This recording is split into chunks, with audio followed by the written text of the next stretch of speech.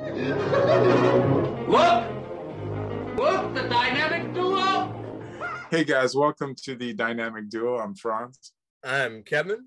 We are still here, and the lights are still on in the Batcave and in Avengers Tower, everybody. Kevin, my friend, yesterday was the final day for the Book of Boba. And I've been dying to get your opinion on this. We haven't talked about this. We've been waiting for the whole series to be over. I have very strong opinions about it. And I know you have very strong opinions about, about it as well. And what is your review, your critique, and your rating for the Book of Boba Fett? This is going to surprise a bunch of people. Overall, I was disappointed. Hmm, interesting. I was severely disappointed. I didn't hate the show. I thought that it did have a number of home runs. Mm-hmm. But overall, they softened the character too much. I appreciated in the beginning and in like the first two episodes that he was an older Boba Fett and somewhat softer and not doing a lot of the same things that we saw him do back in 1980 and since then.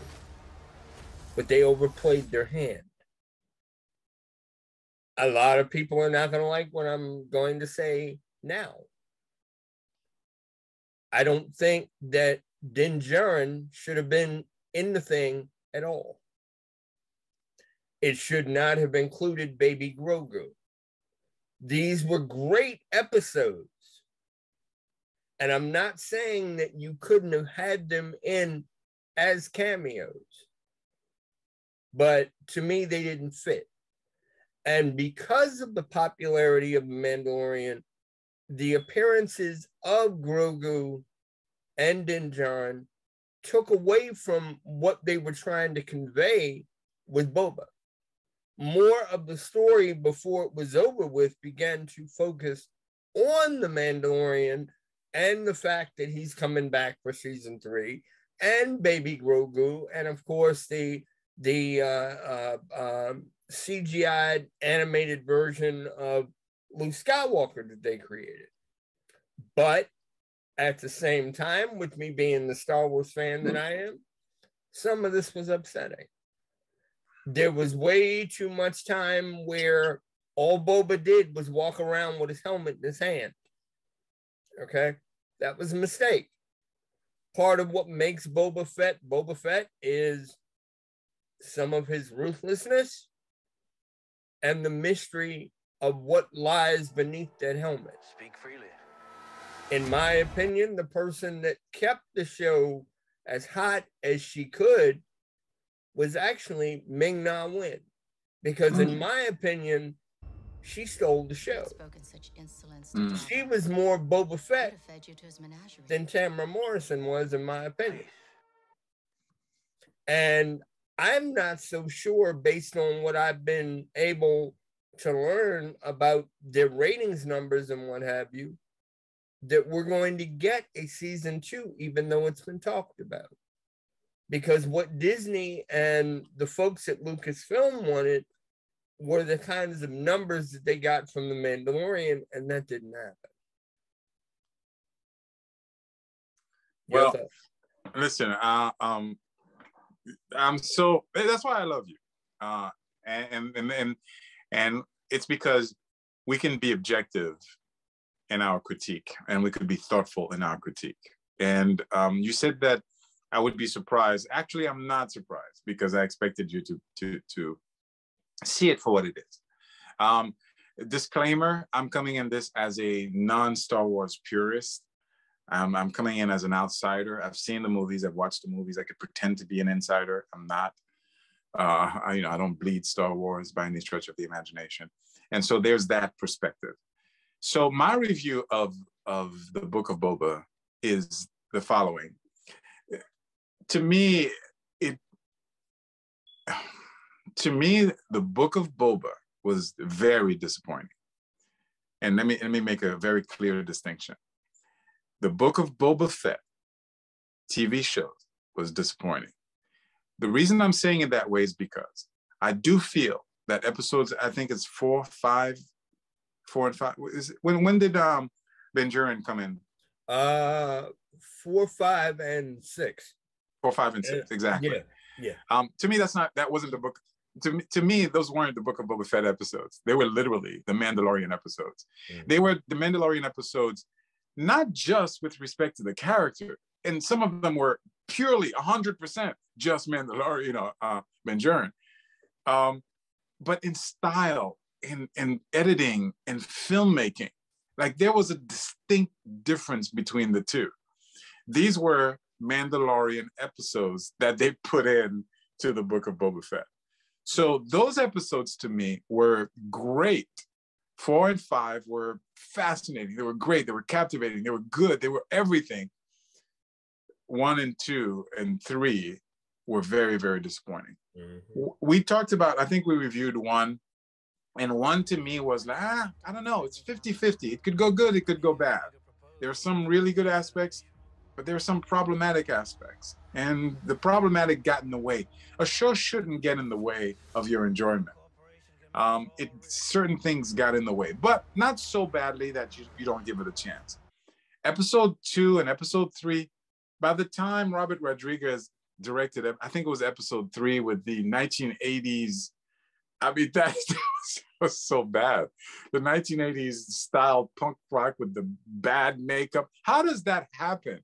Can someone explain to me how that happens? Like, how does Disney, was making a production of Star Wars based on Jon Favreau's Mandalorian, which is highest quality you could possibly have, huge budget, how did they come up with that cheesy crap? Like that was horrible, Yeah. disgusting. It was the the, the the the makeup was terrible.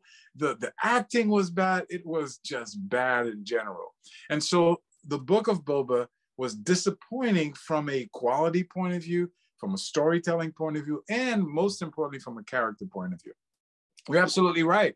And the actor, by the way, said so. He said, look, you guys are making a mistake, and I don't want to, I don't want to participate in this. Mandalore, I mean, a book of, of the Boba Fett should not be talking as much as he does. He shouldn't have the helmet off as much as he does. You remove the mystery. Why is Ben Duran so cool? Is because you know what? They should have never taken off that helmet. By the way, this is also reflective of superhero movies. I cannot stand it when the superhero has to remove his mask. That's not what it's supposed to be. Give me the keep, keep Captain America, Captain America. Anyway, I, I don't want to change the subject.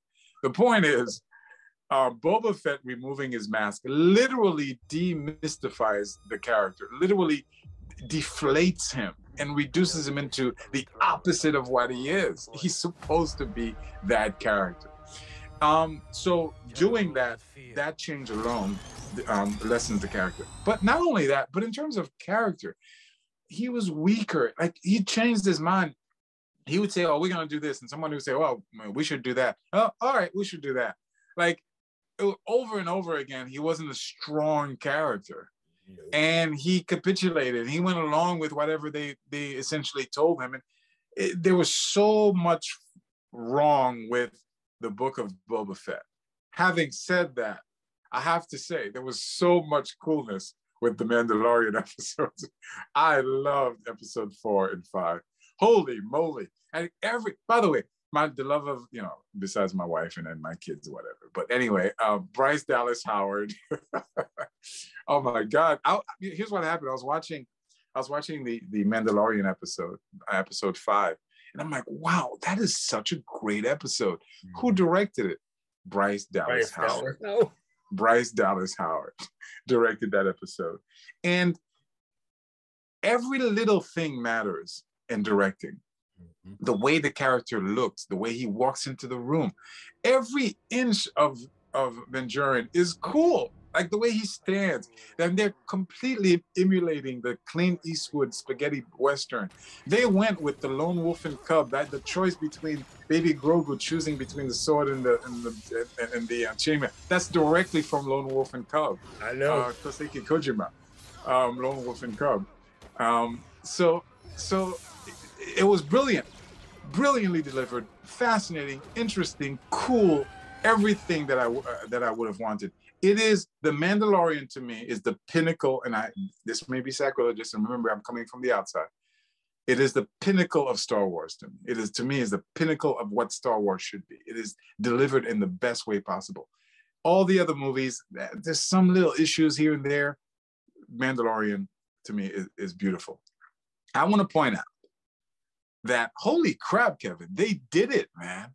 Like, I don't know why this isn't being talked about because the most difficult thing that Hollywood has had to do is to emulate a human through CGI, mm-hmm. to make a human CGI. They've come close. They've done a really good job. They've certainly done it with monsters. Thanos looks pretty damn good. But when it's an actual human being, as close as they've gotten, you could always sit back and go, yeah, yeah, that's that's really good CGI, but that's CGI. Holy crap, Luke Skywalker in that episode, that, that's as real. I I challenge anybody to watch that and not know the characters and not know that you know Mark Hamill is actually an old guy to, to pick out who is CGI. I, I challenge anyone to do that. That was awesome. Yes. And forgive me for saying this one last thing. This opens up, and I'm surprised people are not talking about it, but this opens up a really powerful opportunity. What it means, Kevin, and I'll let you talk, but what it means is that you can do a Star Wars movie involving Luke Skywalker, Han Solo, Princess Leia, Chewbacca in that period and deliver it and deliver it 100%. Dev, I've said my piece, my friend you uh, first of all, thank you for opening the door because you just said what I was going to add. there has already been a lot of internet chatter and a lot of, uh, of, of back and forth about okay, when the Force Awakens and and the uh, uh, extended universe trilogy happened, we didn't get Han, Luke, and Leia together as the the trio that we remember with Chewie, Lando, and everybody else. So does this mean, in a lot of people's eyes, that we may be getting, even if it's in some form of of uh, uh, animated uh, uh, pseudo human form that you're talking about? Does this mean that we may get a movie with all of them concerned? It's I feel it's a great possibility, but it depends upon how it's done. Now, one other quick thing that I want to add before I close the book on uh, the book of the Mandalorian featuring Boba Fett. Um, That's a good one. That's a good one. the, the the thing is, one of the other things that have been talked about and had been talked about and confirmed for more than a month and I just didn't say anything to you because I thought for damn sure we were going to see it in episode seven. Is that Harrison Ford ended up back on those stages? Interesting. He was supposed, it had been reported that Han was back and that they did some form of a CGI thing with him. Now, here, here's the bizarre little part of this. It had originally been reported that the work he did was for the Book of Boba Fett, but now I'm wondering, was it meant for uh, the Kenobi series that's coming instead? Well, that would make that would make sense. Yeah, that would make sense. But because a lot of people are saying they didn't actually cut Harrison Ford out of the Book of Boba Fett, they may have, but I doubt it but that has been talked about. One, one, one thing, one other thing before we close the chapter on this on this topic, I wanted to do uh, to say one other thing. So, um, what that means, uh, Kevin, is that if they can replicate the movies with the Princess Leia, they can also keep the prototypical superhero. In other words, the we don't need to reboot characters because actors are getting old. We could basically have a Spider-Man be a Spider-Man in a live action movie and keep him perpetually young. keep a Superman perpetually young, which would I think would be very very cool. But I wanted to also critique the very last episode, episode seven, because I found that episode interesting and fascinating. Uh, in my opinion, it, it it fell down to directing. Uh, I could see good directing and bad directing, and the the differences were obvious. Whoever was directing Mandalorian was doing a really good job, and whoever was directing the Book of Boba Fett I, I wouldn't say they were all doing a bad job at, at, all, but some of them were doing a bad job. The very last episode was both Boba and and um, Ben Jurian. And and what was interesting to me is that, and I don't really understand, like almost every scene that that the Mandalorian was in was better than the scenes that Boba. And, and I'm not sure if it was because of the actors, because of the direct, because they're, I'm not sure, but there was a difference, a distinct difference between the two things. I didn't think that um, Ming, ja, what, what's her name? Um, Ming ja, uh, Ming Na Wen. Ming Na Wen. I didn't think her, she's a great actress. I think she's like Academy Award nominated actress or even winning actress. But I didn't like her performance uh, in the in the book of Boba Fett. I, it, I found it weak. I found it perform. I found everyone's performance in the book of Boba's uh, performance weak, and the very last episode was some some as it was like the first episode of, of Book of Boba. Some aspects were really good, and some aspects were not so good. It, it was not so good, and it shouldn't get in the way. Like certain things shouldn't get in the way, like little common sense thing. So, for example, he goes and gets the beast, and the beast is coming and attacking, you know, the the the the the, the machines with with the big cannons, and the cannons are facing the beast. Uh, you know, and just shoot the damn thing. Like that thing should not have been a threat. There's little things that the delivery just it didn't quite. It just there were a lot of little things that were like, oh no, that doesn't make sense. But then there were a lot of cool scenes. So yeah. it was like like some of it was really good, but some of it was really um, not so good. And so it was that. So the the final episode to me was I would give it a positive. Um, it wasn't as great as certainly the final episode of The Mandalorian, which was just sick and just awesome and just cool.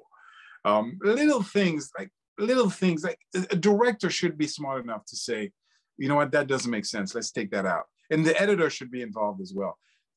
I mean, you know, Star Wars is notorious for guy, you know, stormtroopers not not being able to aim, but some of it was a little too ridiculous. Right? Don't don't don't exaggerate it, type of thing. So there were little things like that that got in the way of Episode Seven. But overall, I thought Episode Seven was also very very good.